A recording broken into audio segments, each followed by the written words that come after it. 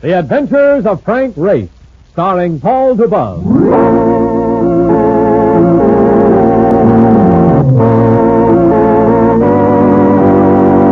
The war changed many things the face of the earth and the people on it. Before the war, Frank Race worked as an attorney, but he traded his law book for the cloak and dagger of the OSS. And when it was over, his former life was over too. Adventure had become his business. The Adventures of Frank Race.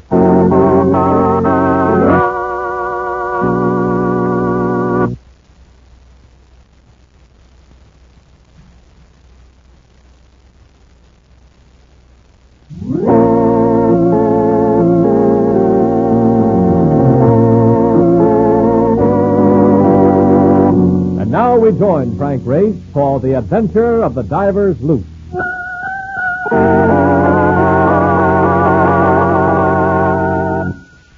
London, under a heavy rush of cumulonimbus clouds, setting thunderheads that looked as though they might knock off your head at any moment. I just left the embankment and was hurrying across Westminster Bridge when Hey, Ray! Ray, wait a sec! it was Mark Donovan running to catch me. For some reason, the sight of a New York taxi driver afoot in London seemed incongruous enough to raise a grin. Uh, uh, all right. I give up what's so funny. Because a guy saloped like a high-boat bank yell to come up with his Sorry, Mark. I was just thinking how different this is compared to ramming a cab along 42nd Street. Uh, that's no different. Just had to hack my way to a jam. It was worse than going for the X's on fight night. I can't just fell this way. Slow down. You're wheezing like a sump pump. Uh, it ought to be. I even... Hey, I almost forgot. I've been pulling this marathon because a guy wants to see it. Personality named Rhodes. Lawrence Rhodes? Yeah, yeah. Very pip pip and cheerio. Wants to see you pronto. Offices in Eaton Square, you know. I can't take on another assignment. We should be getting back to New York. But I'll see Rhodes anyway.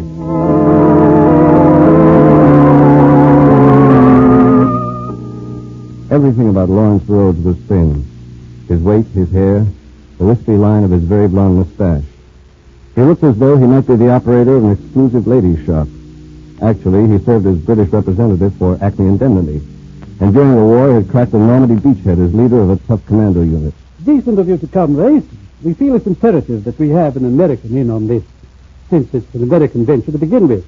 Well, And when it's a case of children losing their lives... Oh, forgive me. What were you saying? I was going to say that.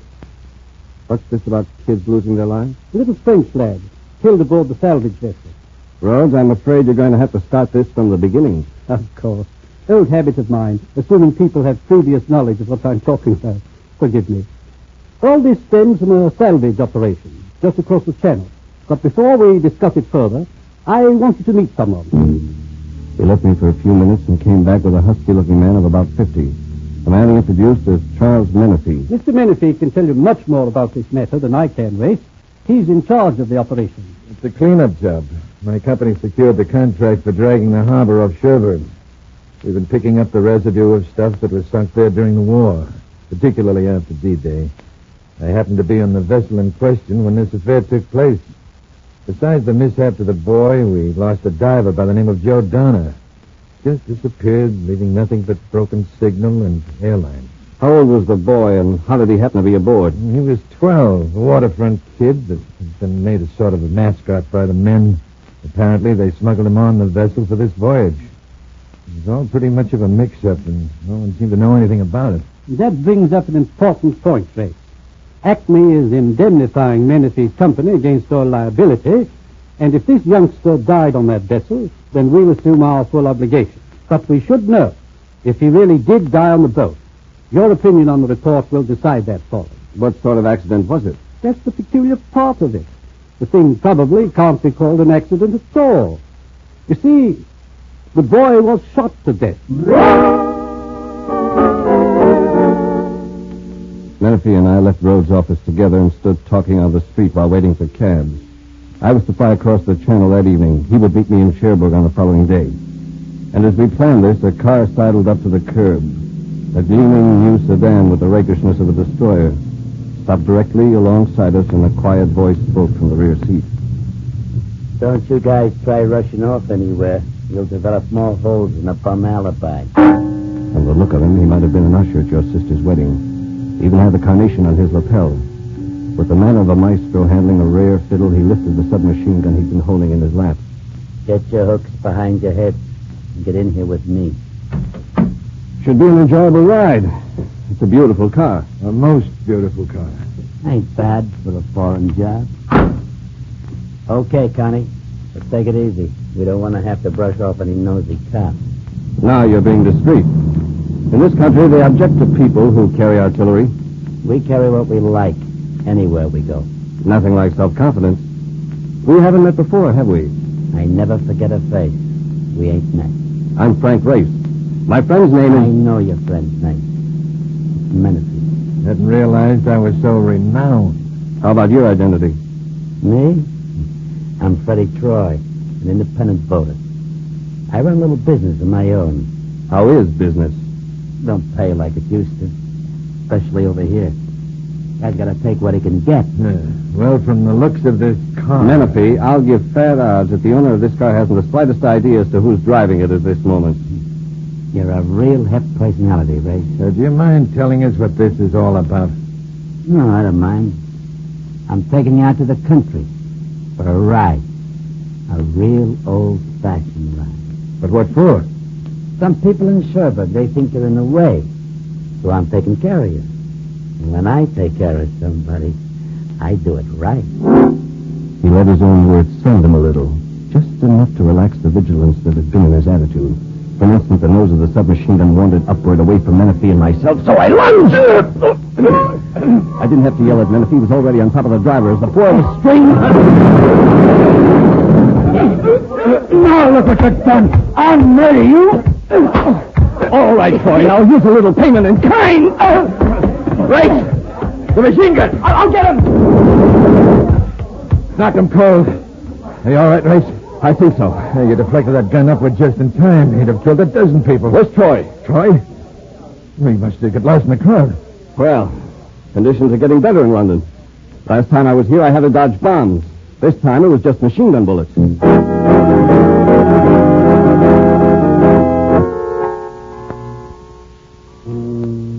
Cherbourg is still a disabled war veteran, showing gaunt open spaces and bombed out buildings as new testimony of the travail she endured.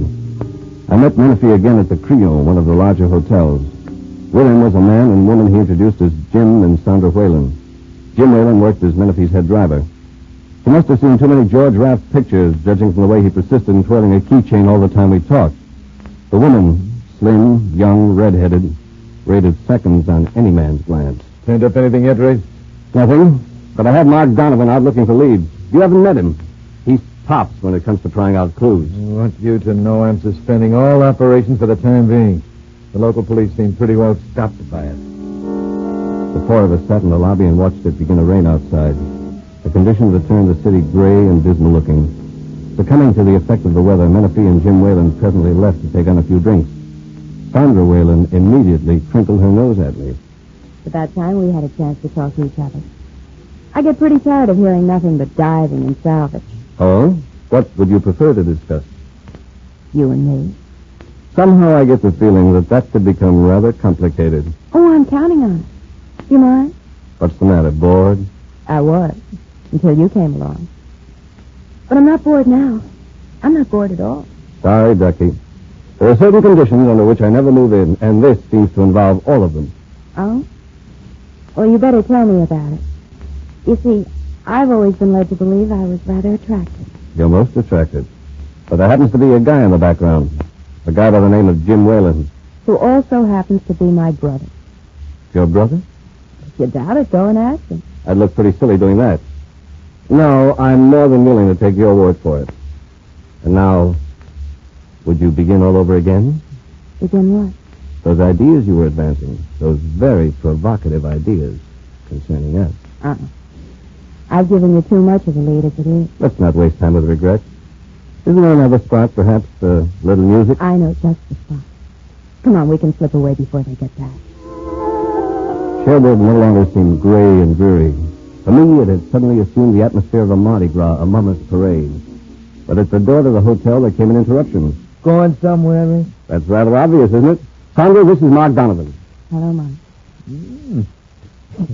I don't blame you for going somewhere, but I'm afraid I gotta apart, you two nice people. Get lost, Mark. I'm sure that whatever you have in mind can wait. Look, Race, you will probably want to flog me from here to Paris, but it won't wait. It's a red-hot break. It's got to be handled now. Go with him, Ray. We can make it later. Shall we say tomorrow evening? You're a very understanding person. I'm a very persistent person. See you later, Ray. Marcus, this lead of yours had better be good. It's good, chum. Let's go. Where? Spot called the Bar de Book. It ain't the Crillon, of course. Creole. Yeah, like I said, it ain't the Crillon, but it has its point. It definitely has its point.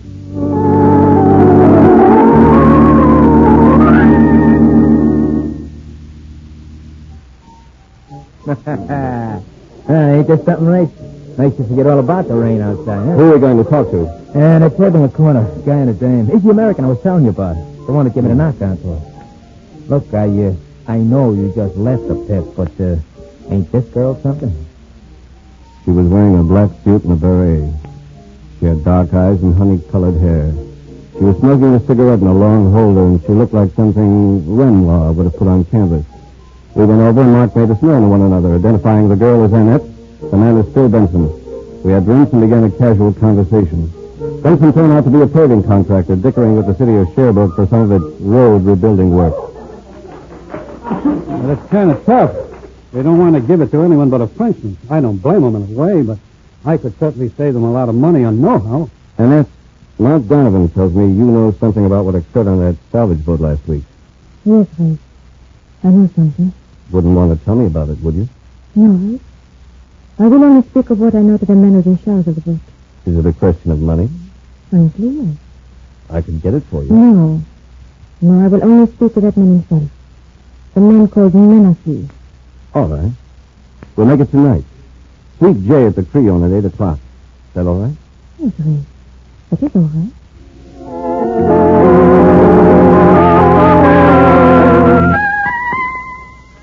Sweet J at the Creole happened to be the apartment Mark and I were occupying. And I had Menifee there at 7.30. He came in with a serious face and a morose attitude. Took a couple of drinks to bring him to the point of unburdening his mind. Sandra, Race, I, I don't suppose you have any idea that she and I are engaged. Engaged? No, I didn't have any such idea. Sandra didn't say anything about it this afternoon. Yes, Sandra's like that. Restless. and Always on the lookout for excitement, but, but I have hopes that she'll settle down. Of course, I'm sure she will. That must be our caller. Hello, Ray. Come in, Annette. This is Mr. Menifee. Hello, Annette. Ray says you've some information for him. Yes, Mr. Menassi. I have three things to tell you. First, that I consider you a murderer.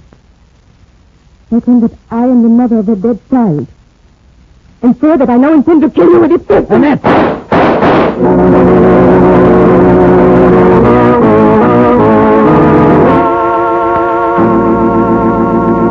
We'll return to the adventures of Frank Race in just about one minute.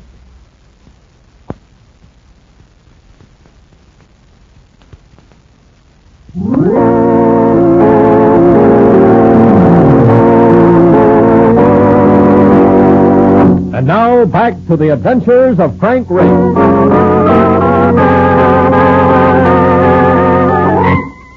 Menifee was down, but I couldn't tell how badly he'd been hurt. I was too involved with a twisting, writhing woman whose intent was to send more bullets into his body. Let me go. Let me go. You little idiot, you're not solving anything by making a play like this. Give me that gun. Give me that gun. I'm sorry. You left me no alternative. Now, if you're smart, you'll get out of here. The police don't like people who use guns. What? I'm not going to hold you? No, get going. Very well, Ray.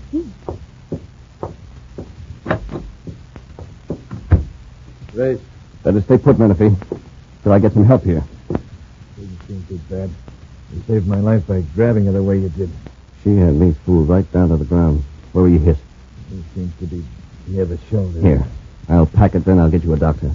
Oh, no, doctor. I'll take care of this myself. You've got to have a doctor, Menifee. It would be terrible. No, I'll take care of it myself. Bring in a doctor and you bring in the police. I've had enough publicity on this thing. We're likely to need the police. Uh, that girl might try this again. You can take care of that for me. I'll, I'll find her, persuade her that I'm not at fault. I'm doing all I can to clean up the situation. But no doctors, no police. There was no doubt but that Annette would be in hiding. The next morning, Mark and I looked up Phil Benson, the roving paving contractor. Yeah, I know where she is. Why should I tell you guys? So you can make trouble for her? Look, don't be a dub, will you? We ain't gonna give her no grief. Race wants to help her. That's right, Benson. I give you my word. All right. And I wouldn't want to give her a bum steer. She's a widow, going through a bad time. And I'm nuts about it. He took us to a small flat over a wine shop on a back street. Here, Annette received us casually, as though nothing unusual had happened. But the moment I mentioned Menifee, her eyes filled with storm. You may as well know. If I get another chance at him, I shall try the same thing again. But why? You're not sure that he caused the death of your son? My son died on that man's boat. For me, that is enough. Take it easy, will you, baby? Race is only trying to find out what really happened. He's only trying to help you. I can promise that Menifee won't go to the police if you'll agree to let him alone. Get it, baby? Why don't you relax and learn to live again? Give a guy like me a chance to make things different. Oh, for you. let me alone. I, I don't want to talk about it. You've got to talk about it, baby, for my sake. You know how I feel about you. Just give me time to make one of these paving deals and, well, things will be different, that's all. Oh, please let me alone. She stalked out of the room, and I realized the futility of trying to deal with a woman stricken as she had been. Benson looked stopped. If I can only get a break so I could take her away from here. Are you having any luck? Not to the city of Cherbourg. They just don't listen. And I could do their cement paving cheaper than anyone on the continent. It looks as though I've got about as much chance as a plugged bullseye. Yeah. Stick with it, son. Things will work out. They have a way of doing that. We'll see you later, Benson.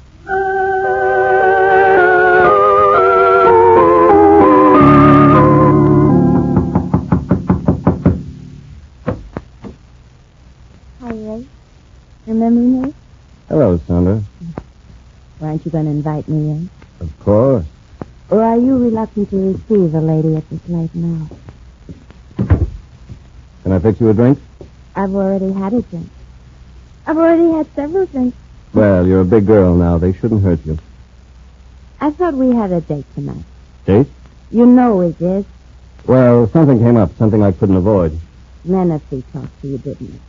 Told you I was engaged to him. huh? Well, aren't you? He told me he talked to you.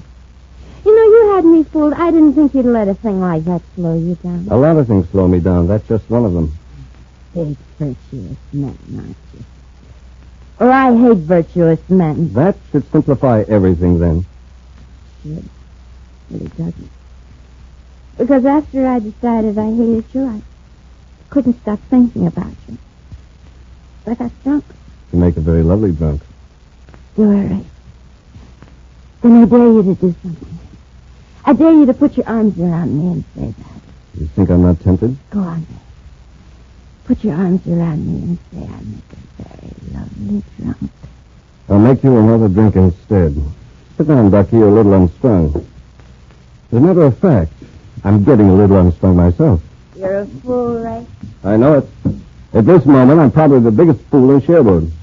In fact, I'm surprising the very devil out of myself. I'm keeping this light, Ducky, just enough glory juice to give it taste. You think Menifee's worth being royalty? Well, he isn't. He isn't worth it at all. Here, refresh yourself, then you'd better go home. Do you know why Menifee suspended salvage operations?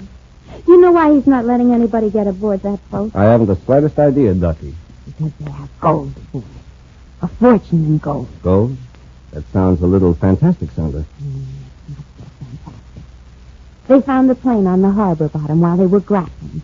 A Royal Air Force plane that had been shot down during the war. They'd been carrying gold to occupy France to pay agents who wouldn't work for paper money. Yes. Yes, they did that during the war. That's why the child said. He happened to be aboard that day and someone shot him to keep him quiet. And that's why that diver turned up missing. Honor. Doesn't that up, Sandra?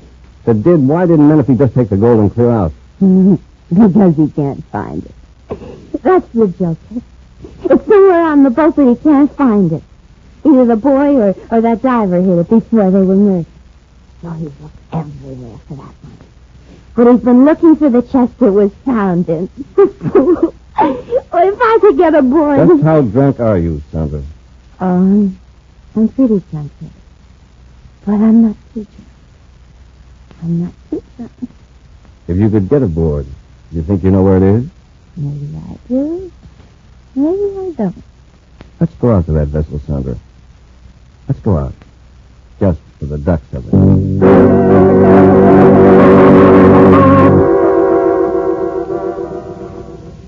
Can you see well enough to hold your course mark? You're kidding? I ain't seeing my way. I'm feeling it. Oh, what a night. There she is. Cut the engine. We're gonna bump. Oh, brother, what a break. We hit almost alongside the ladder. Get the bow around, Mark. All right. All right, Sandra. Uh, watch your step, will you? Take the stairway to Buckingham Palace. Gosh, we made it. There's the lighthouse. Come on.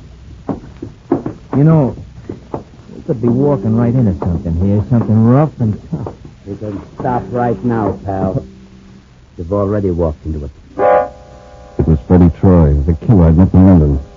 With the light shafting past an open bulkhead, I could see that under one arm he cradled a bag of some sort, while at the same time he held a gun on us. Well, well. That ain't the chum I met in England. You go around buttoning into all kinds of things, don't you? You don't seem as well equipped as you were last time, Troy. Then it was a Tommy gun, now it's just a 45. That's enough for this job. Get back against the wall. Gracie's gonna shoot us. How'd you guess it, sister? That's far enough, punk. You mean me? Yeah, you. Now, folks, I'm sorry, but Mark, how'd you get that hand in your pocket? I wasn't reaching for cigars, Junior. You had to do it. It was him or us. Oh, lady, you can put music in them lyrics. Look, that bag. He dropped it and... It's still in gold We'll have a look at that later. First, let's see if we can do anything to Troy. Okay, Race, but I'm afraid we're just wasting our time. Mark was right. It was a case of too much sea and too much darkness.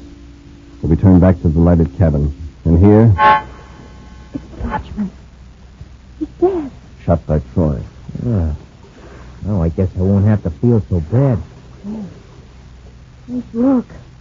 Look where the coins have been hidden. What? What do you know? In a fire hose. But this is only part of it, a small part. Oh, we're too late. They've been carrying it away. Yes, they've been carrying it away. But I've got a small hunch that I know where we might find it.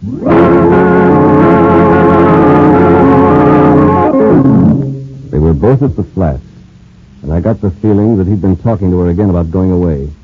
From the look of her, she hadn't been too responsive to his words. Hello, Race. What did you want this time? Money, Annette. A lot of money. Money that caused the death of your child. You killed my boy? Yeah, but who did it kill? Benson would. Wouldn't you, Benson? Me? What are you talking about? I'm talking about a paving contractor calling himself Benson, who's really a deep sea diver by the name of Joe Donner. How long have you known this man, Annette? Only a few days. It's, it's just... Yes. He came to you so he could keep in touch with what was going on. It makes a grim thought, Benson, courting the kid's mother after what happened. You're crazy. You tripped yourself in a couple of ways. For one thing, no real paving man would say cement when he actually meant concrete. But you were authentic enough when you mentioned a bullseye today, because that's the term a lot of divers use for the eyepieces in their helmets. You and Freddie Troy were in this together, weren't you, Donner? You were the diver who brought up the chest of coins, which you knew would be confiscated by the government. So you took advantage of the excitement and hid the stuff. And you murdered that boy because he happened to see you. Then you made it look as though you'd been killed yourself, so you could hide out and pick up the coins later. But you could prove this. Ask him to open that bag he has at his feet, Annette. I'm not opening anything. I'm just going out of here. Don't go for that gun, Annette. I know you got one, but don't go for it. I'll... Hey, you... You stopped me. You let him get away. He won't go far. Not in France. And the bag's still here, baby. You didn't get the I bag. could have killed him. and You stopped me. And right now, you hate me for it. But after a while, you'll be glad I did. After a long while, you'll be very glad.